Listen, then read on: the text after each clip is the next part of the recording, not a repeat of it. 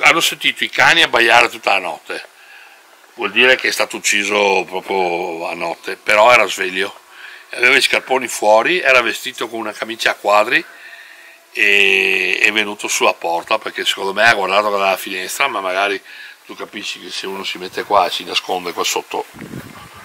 Ma facciamo un passo indietro. Tutto è iniziato quando in internet ho trovato questa notizia. In sostanza, nel Vicentino, un boscaiolo che proteggeva la natura era stato ucciso da un colpo di fucile a pallettoni sulla porta di casa. E così mi sono chiesto chi era veramente Mauro Pretto, questo eremita dal cuore d'oro che proteggeva il bosco e salvava gli animali, e così ho deciso di andarlo a scoprire.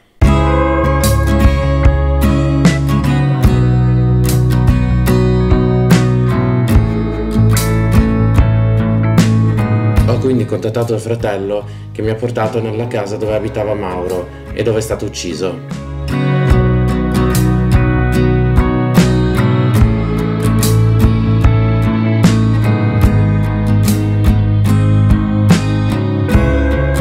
Lì abita il ragazzo che l'ha trovato, il ragazzo serbo che l'ha trovato alla mattina del, praticamente dell'omicidio e che dovevano trovarsi la mattina per, per fare dei lavori e, e l'ha trovato lui. Allora, questa è la strada che comincia, che arriva su nella casa e poi da lì va, va nei boschi. Eh, la sua vita era qua e veniva giù da me in magazzino gli ultimi due o tre anni darmi una mano una mezza giornata per prendere qualcosa se no la vita era completamente qua. Dal lunedì al lunedì sabato, domenica, Natale ogni tanto qualcuno veniva su.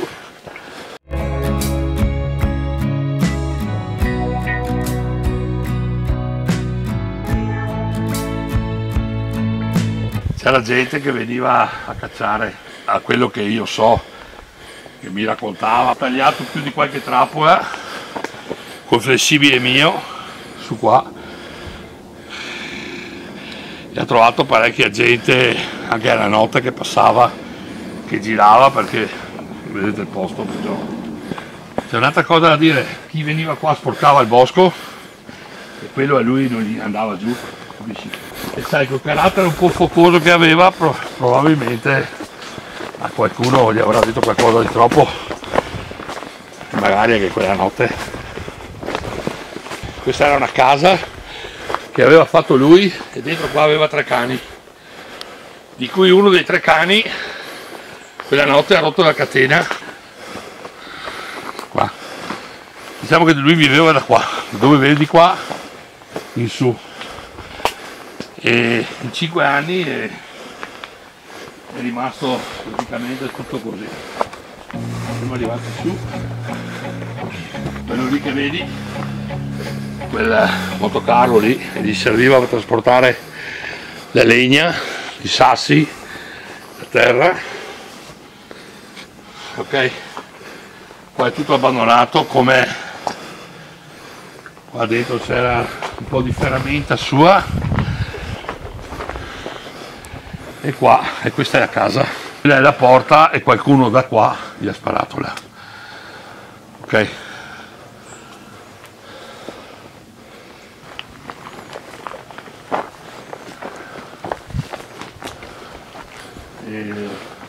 c'era anche una vespetta sua qua vecchia e l'hanno portata via. L'hanno rubata.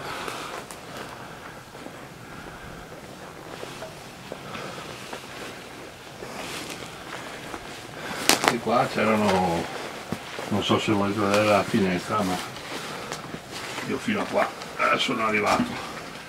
La porta è aperta se volete guardare voi ma io sinceramente no. È, è socchiusa da ragazzo 15, 16, 17 anni, era praticamente un terremoto, ok? Difficile da gestire sotto tutti gli aspetti. Non cattivo, ma uno che le, le regole non le, non le, rispettava neanche a pagarle oro, ok? E dopodiché ha lavorato con me, ma litigavamo, insomma, vabbè fino a un certo punto ha trovato la sua strada nel, nel bosco, negli animali. E da lì a 25 anni, 26 anni più o meno è venuto a vivere su qua. E qua ha trovato quello che probabilmente giù non trovava. Logicamente sempre con carattere difficile perché però logicamente è una persona completamente diversa. Negli anni qua è cambiato completamente perché ha trovato, ha trovato la, la, la, sua dimensione. Okay.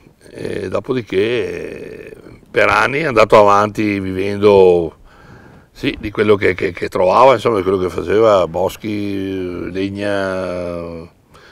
E poi negli ultimi anni gli davo da lavorare, io qualche mezza giornata veniva a darmi una mano, pulire il magazzino, sistemare fino alla, alla, alla, famosa notte del 12 di maggio del 2017.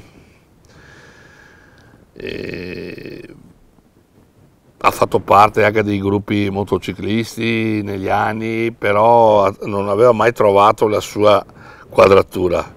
L'ha trovata solo qua, con gli animali, con, con il silenzio del bosco, che è qua dietro, e, e basta io non condividevo, vivere su qua non è semplice, non è semplice perché sei fuori completamente dal mondo e comunque devi vivere in qualche maniera. Più se hai 4, 5, 6 cani da, da, da, da mantenere, eh, non è che i cani vivono d'aria, perciò bisogna un po'... Sì, bisogna, qualcosa bisogna fare, ma lui si inventava i lavori, si inventava eh, parecchio, era un dinamico, uno che riusciva a fare un po' di tutto questo discorso solo che i tempi sono cambiati, non si poteva più fare quello che lui voleva e ha dovuto adattarsi a venire a lavorare con me per due o tre anni.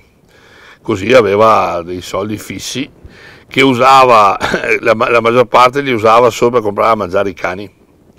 Punto. Allora noi abbiamo avuto parecchie discussioni, sia a livello di lavoro che a livello proprio di, di, di, di di, di gestione della vita qua. Ma ti dico anche che se, tu, se lui aveva 100 euro, a te te ne dava 90 e a lui gli bastavano i 10, perché non ha mai fatto una questione di soldi, mai.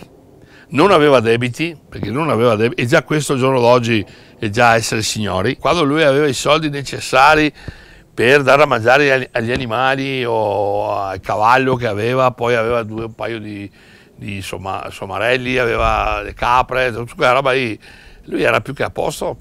Io ti dico per sentito dire perché lui personalmente a me non ha mai detto niente, però quelli che lavoravano con me mm, in magazzino mi hanno detto che ha avuto discussioni con una persona che dietro qua aveva preso un bosco, ok, proprio dietro qua, aveva preso, comprato tutto il bosco e l'aveva aveva, mm, gli aveva, questo gli aveva chiesto a lui di dargli una mano per tagliare il bosco. E lui mi ha detto guarda che per un mese o due io non vengo a lavorare perché devo dargli una mano a tagliare il bosco. Cosa è successo? Che dopo un giorno o due hanno litigato perché? Perché secondo lui le piante venivano tagliate troppo alte. E lì lui si è incazzato, come il suo carattere, e gli ha fatto bloccare tutto, è andato dalla, da guardia boschi, adesso guardia caccia, non so chi sia andato, e ha fatto bloccare tutto e questo qua non ha più tagliato praticamente per un periodo. Tempo addietro aveva sentito qualcuno che, che, che gli aveva sparato sopra la testa giù in valle qua. Poi qua nei boschi intorno eh, lui mi aveva chiesto flessibile, è andato a tagliare delle trappole, ok? Eh, perché non accettava questo modo di, di, di, cacciare, anzi non è che accettasse proprio la caccia, mettiamola così, però se la legge ti, ti permetteva di andare a cacciare e lui doveva tacere.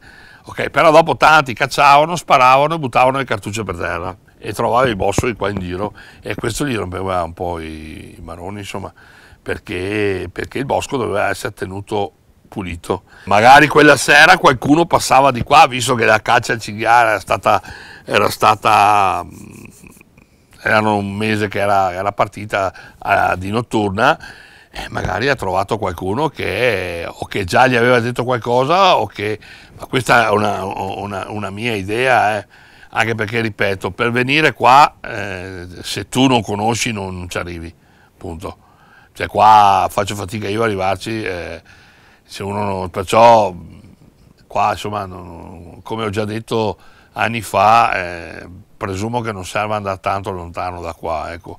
Poi altri nemici, eh, non, c'è una persona così, c'è più di una parola che può aver detto a uno, oh, ma, ma, non penso che per una parola tu ammazzi una persona, c'è qualcosa di... Mm, probabilmente eh, o ha visto qualcosa quella notte o, oppure, oppure c'era qualcosa da tempo che, che, che veniva covato da parte di qualcuno. Bisogna capire una cosa, che tutte queste cose le vedi solo sui film, ok? E quando ti toccano a te sembra impossibile, ok, che possono succedere, perché dici, ma come una roba genere? Poi ci, ti, ci abitui, io ho tre figli piccoli, tra parentesi, all'epoca erano ancora più piccoli, perciò ho dovuto difendere loro da tante cose. E, e io sono uno che non, non, non, cioè non mi piace apparire in televisione o fare in effetti non, mai, non, ho mai cercato di fare altre robe proprio perché, no, no, no. ma anche perché lui non, mi avrebbe tirato il collo se sapeva che che, che, che, che, gestivo la sua morte in maniera così scenica, no? Ed è il mio modo di ragionare, ma da sempre come era il suo modo, insomma, logico che ti manca. Cioè, cioè, vivavamo, cioè lui, io vivo a 50 km da qua, 40 km da qua, perciò non è che gli ultimi tempi ci vedevamo quasi tutti i giorni perché veniva a lavorare da me, punto. Però mi manca, ma più che altro mi manca sapere chi è stato, capisci? Quello è una, una roba grossa, non è cioè, mancare una persona sì, ti manca, ma anche se magari stavamo anche per 6-7 mesi senza vederci, no? anche per un anno, perché io qua non ci venivo quasi mai. Però mh, non, tu non puoi uccidere una persona e lasciarla sulla porta d'entrata in quella maniera, cioè, non, non, non, esiste. Cioè, c'è una persona qua in giro, ok, ripeto qua in giro, non so dove, che ha ucciso un altro senza un motivo valido a parte che non c'è mai un motivo per uccidere una persona, però e, e, e logicamente io fino adesso non, mai, non mi sono mai chiamato in parte perché speravo che le indagini andassero in maniera diversa. In maniera diversa non sono andato, adesso ho dato mandato a un avvocato per esaminare tutte, tutti gli atti per capire, per capire soprattutto se è stato fatto quello che doveva essere fatto. E così oggi, a quasi sei anni dalla morte di questo ragazzo che aveva deciso di vivere da solo sul limitare del bosco e di difendere la natura e i suoi abitanti, non è ancora stato trovato un colpevole, che come sostiene il fratello potrebbe trattarsi di un bracconiere di quella zona.